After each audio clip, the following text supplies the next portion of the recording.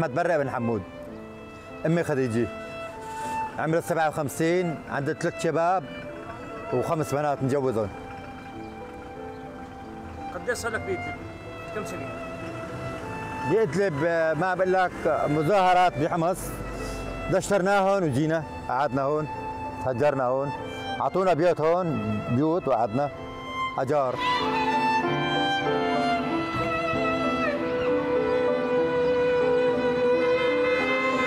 وهيك عايش لحالي عباكو بشرب بتسلى بالنار هون بروح على البيت بالليل بنام.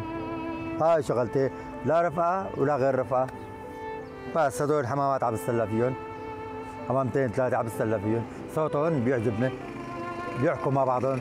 هاي شغلتي. سكر السيارة بتدرج بتدرج شوي برجع بيجي لهون.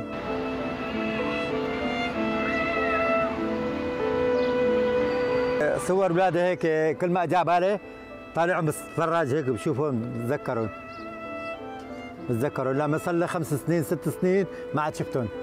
وصوت جوالات إخواتي بروح زيارة لعندهم بتحمم بغسلوا ثيابي بيدقوا جوال بحكوا لنا صوت صورة بصيروا بيبكوا. اولادي بصيروا بيبكوا. لك يا أبي ليش ما بتحوي جوال؟ بقول له ما بعرف. جوال ما بعرف نوب لا بعرف افتح ولا بعرف سكر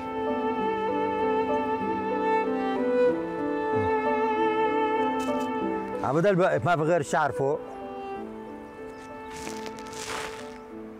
بكرة بس انخطبت ظبطوا لي بيتي برجع اشتغل على المي. بصير بعبي مي للعالم.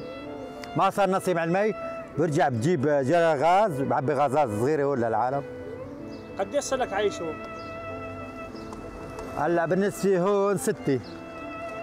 عدور نظام هنيك شي خمسة عدور نظام خمس سنين. صاروا 11 سنة.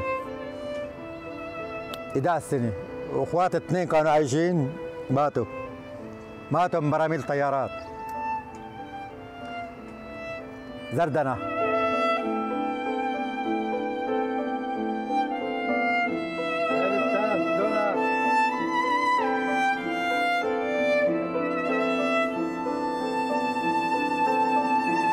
بتمنى انه الجواز حط حالي وقعد وبس خلاص. مشان دير بال علينا مخلوقة ما بدها شيء. هذا طالب من رب العالمين. الأولاد خلص عم حكيهم. كل شهرين بحكيهم مرة معلش